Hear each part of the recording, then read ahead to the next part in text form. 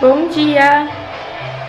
Hoje de manhã a gente acordou com uma triste surpresa. Muito triste. O Thor, ele tava se comportando tão bem nos últimos dias, nos últimos meses. Ele tava. Ah, mas com a Rafa ele sempre pula. Ontem ele deu uma louca em mim. Ah, é questão de ficar pulando, querendo brincar, mas ele não tava mais roendo nada. Que ele tava assim, bem livre, solto pela casa.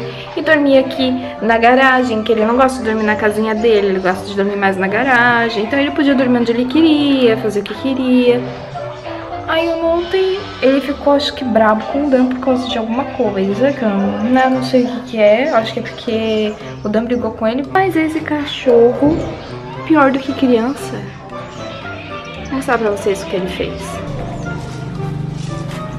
Vocês não têm ideia de como o Dan Mostra tá aqui, bravo. O Danta falou assim, ó, não, vamos dar esse cachorro, vou vender.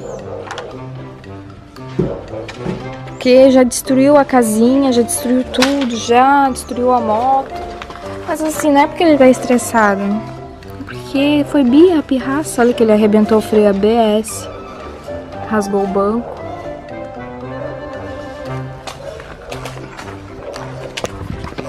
Aí o Dan teve que ir de carro hoje. E eu fiz o quê?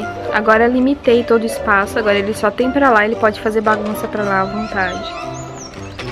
E ele só vai ficar solto quando a gente puder ficar supervisionando. Quando a gente puder ficar junto dele, assim.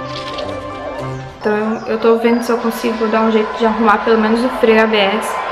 Tô vendo aqui como é que é o, o fio que ele arrebentou. Pedi pra Rafa comprar um fio parecido e tentar emendar ali. E hoje a Rafa começou no Trabalho. trabalho. A Rafaela. Cadê tua filha? Por falar nisso. Hã? Não! Se alguma professora minha ver esse vídeo... Por quê? não Cadê tua pode. filha? Cadê tua filha? Meu Deus, eu não acredito que tu jogou tua filha no chão. E vocês ficam assim, balançando? Tem que ficar com ela no colo. Mas tem que ficar bebê balançando. de verdade. E tem que ficar balançando assim? É que é mania, né? Ai, ai. outras, balançando tudo. Ai, a Rafa ficou todas as aulas, tiveram que ficar todas as aulas com a boneca no Eles colo. tiveram que escrever com a boneca no colo. E isso não é só na escola. É... Depois escola também. Se eu, se eu ir pra algum lugar, eu vou ter que levar boneca. Meu, tu vai ter que ir lá comprar um fio pra mim. De... Vou ter que acordar de madrugada.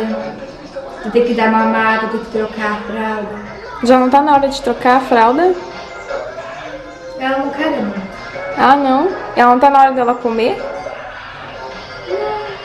Hã? Não? Vou colocar depois na pasta lá. Não, vamos lá super bem ela. Aí elas receberam uma pasta que daí a gente, é, os pais, a gente tem que é, falar na pasta como eles cuidaram da boneca e isso vale nota pra todas as matérias. É, para todas mesmo, né? Até educação física, tudo. E ela tem que... Vocês têm que levar a boneca no postinho, no médico, essas coisas assim. Ela ficou roxinha na escola. Um postinho lá na escola. Sim, igual um bebê de verdade. Que incrível. Aí a Rafa tá com uma das gêmeas e a outra tá com o dito cujo lá. Não, e ele tá também. Pai. Ele tá Pai. com duas, duas crianças. Ele tá com as duas?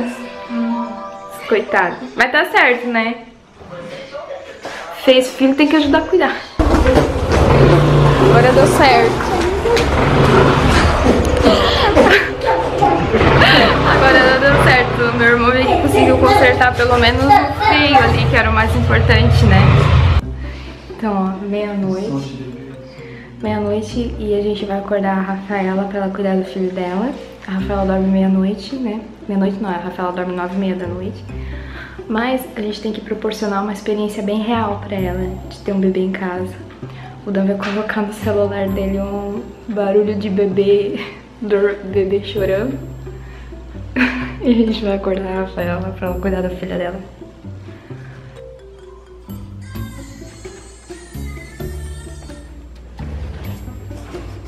O Thor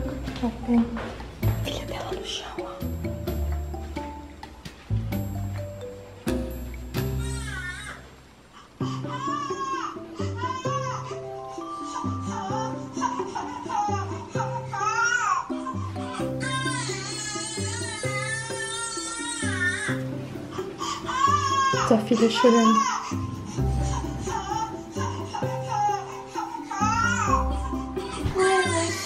Tua filha chorando. Ai, é verdade. É verdade? Vai cuidar da tua filha. Não. Ela quer mamar. Vai cuidar da tua filha. Sério? Mãe, para, por favor, mãe. Tu vai deixar ela no chão? Eu vou deixar o celular berrando aqui? Não, mãe, por favor. Deixa o celular aí, deixa o celular aí.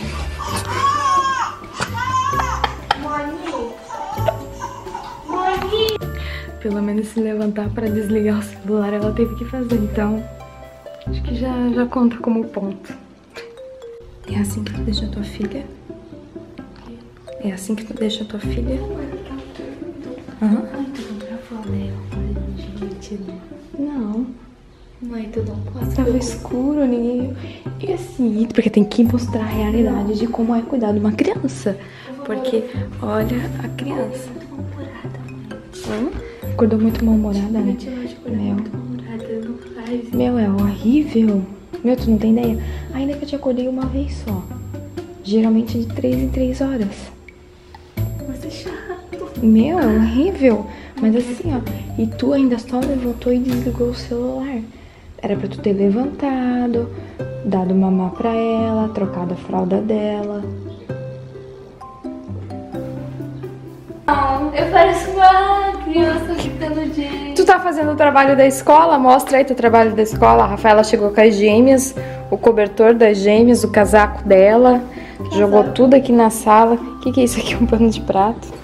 A bolsa dela, do bebê. O que, que tem na tua bolsa do bebê? Tem roupinha. Ela tá dando mamadeira agora. Roupinha, daí tem esse umedecido, daí tem fralda lá, daí tem paninho e touca e lacinho. Tem que trocar até roupa, tudo isso. Ai, mãe. É obrigada a trocar de roupa?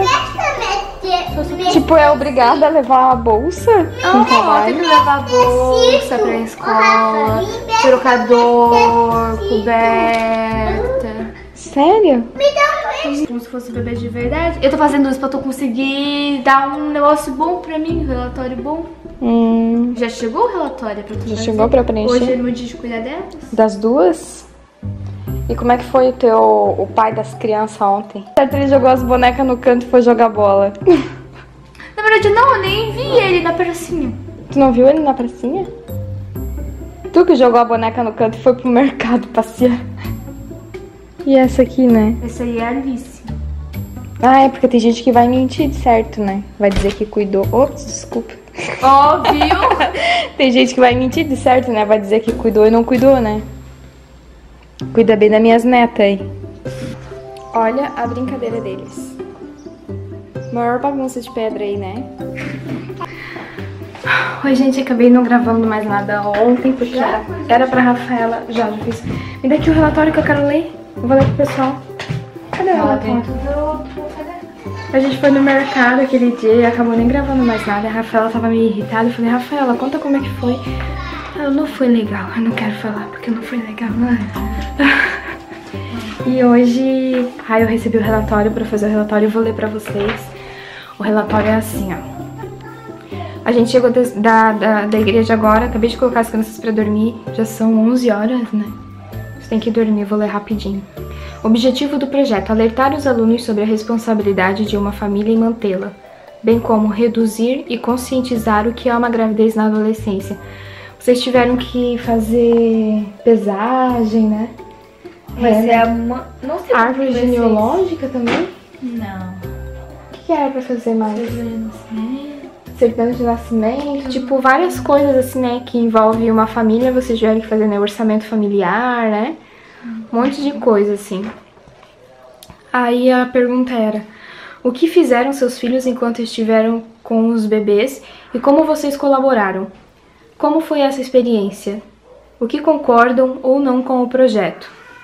Daí eu respondi. Entendi, né? Minha letra é feia, tu devia ter me dado antes pra eu poder fazer. Não, a Rafaela deixa pra dar coisa, pra fazer a tarefa, pra dar as coisas pra assinar. à noite. Sexta-feira. Só que eu não lembrava, tu tinha que ter me dado o papel. Aí eu ia lembrar de fazer. Ela me deu o papel agora, noite, pra fazer. escrever. Aí eu tive que fazer ah, só tudo, tudo rabiscado, com letra feia, mas enfim. Importante é a professora entender, né? Ó, a Rafaela trouxe a boneca dela para casa e logo em seguida amamentou com uma mamadeira e trocou a roupa dela. Ela agiu como se estivesse brincando de boneca o dia todo. Parecia estar gostando muito da experiência. Então à noite, depois que ela foi dormir, eu esperei ela pegar bem no sono. Meia-noite, eu liguei o celular com o som de um bebê chorando. E acordei a Rafaela, que na hora não quis levantar e ficou muito irritada. Mas larguei o celular em cima do bebê dela e ela se viu obrigada a levantar da cama para desligar o celular chorando. Chato. É, no dia seguinte, ela já estava cansada de cuidar da boneca. Mesmo assim, cuidou da filha, bem irritada, bem nervosa. Ainda duas, porque aqui, ó. Ansiosa para dar o horário de poder largar as bonecas, pois neste dia vieram duas para casa. O trabalho foi dobrado, né? Eu concordo com o projeto, da minha opinião, né? Eu concordo com o projeto e acho que poderia ficar mais realista se as bonecas fossem mais pesadas, simulando o peso de um bebê de verdade. Eu quis amarrar um saco de feijão na boneca, mas a Rafaela não concordou. Por isso deixo aqui minha sugestão. Nossa, que horror! Que bom que eu já passei por esse projeto, coitada O ano que vem eu vou ser obrigada a amarrar um saco de feijão na boneca.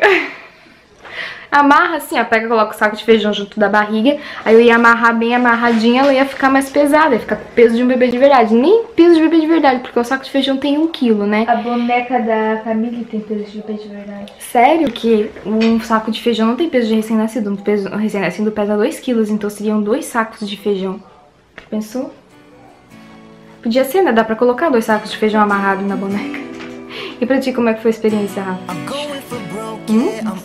Mas tu ficou o ano inteiro esperando, né? Só falando desse trabalho. Não, e hoje o nosso é super legal. Vai brincar de boneco o dia todo. Muito legal. Bem trabalhoso, né? E ainda tem mais trabalho, né? Que essa semana ainda vai ter que terminar, certo? Fazer as Tem mais coisas. tempo. Então, meninas, não queiram ter filho cedo. Só tutorial. Tu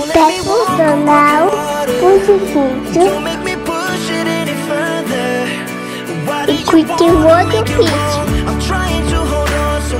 Tchau, tchau, gente.